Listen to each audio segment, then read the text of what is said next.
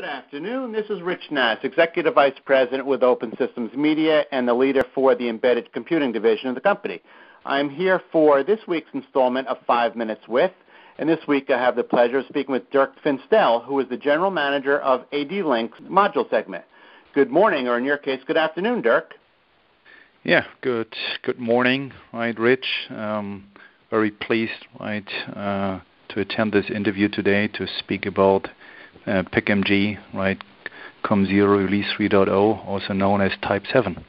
Okay, so let's talk about that specifically. Um, the obvious question for me, and probably for a lot of people, is that why did we need a new pinout uh, definition in the specification? It was working just fine before. Yeah, I think uh, maybe I, I, need to talk a little bit of the history of, of COM Express um, as mo- most of the people familiar with the COM Express specification, we have not been able to put Xeon class processors in the interface uh, on COM Express due to you know power, wattage, and uh, lack of pin uh, definitions.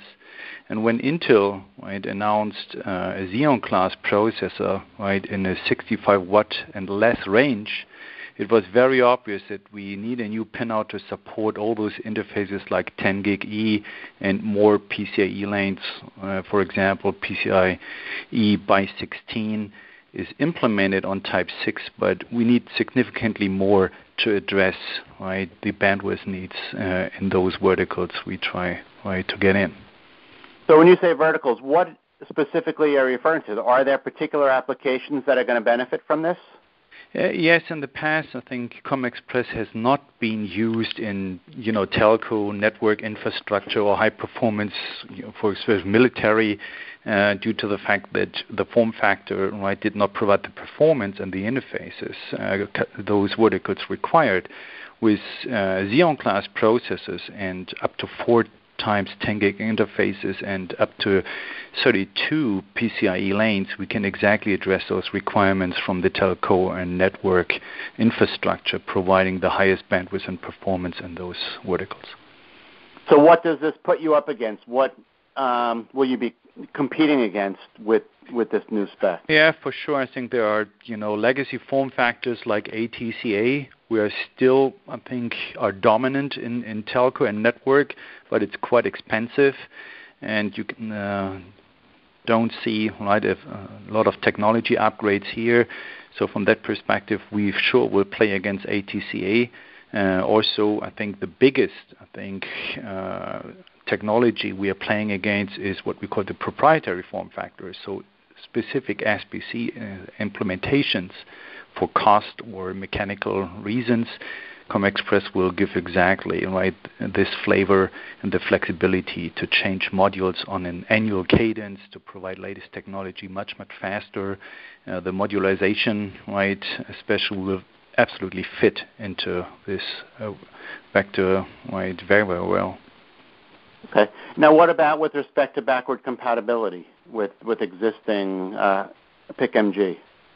Yes, for sure. I think this was a major effort. Uh, as you know, COM Express always uh, uh, had a look on the on this backwards compatibility. So uh, it's backwards compatible to Type 6. So even if you plug it in, it will not harm. Uh, for sure, we replaced the display interfaces with the 10 gig um, I think Ethernet pinouts. Um, so you can use a Type 6, you know, carrier board to some extent, but for sure you lose display functionalities. And if you have not routed the interfaces right, for sure, I think it will not right function correctly. But most of the interfaces, if we're talking about percentages, 60% of the pinout is still the same and 40% has changed. Okay. So where are we in the timeline? When can users expect to see products based on the new spec? Well, actually, we can provide products right now as samples. Uh, PICMG, I think, will have a public release, I think, next week or latest in two weeks from now. The pinout has been frozen a couple of weeks ago. Um, as ADLink has uh, basically led those efforts for many, many months uh, to bring all our competitors right to this committee. You know, Jeff Munch, our CTO, uh, is chairman of PICMG, uh, brought all those things together.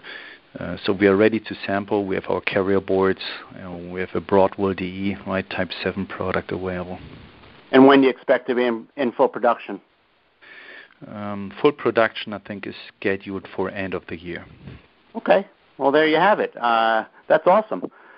Um, I think our readers, design engineers, would be looking forward to that. So that was yes. Dirk Finstel. He is the general manager of ADLink's module segment, and I am Rich Nass with Open Systems Media, and that was this week's Five Minutes With. Thank you very much, Dirk. Thank you very much. Bye bye. Take care.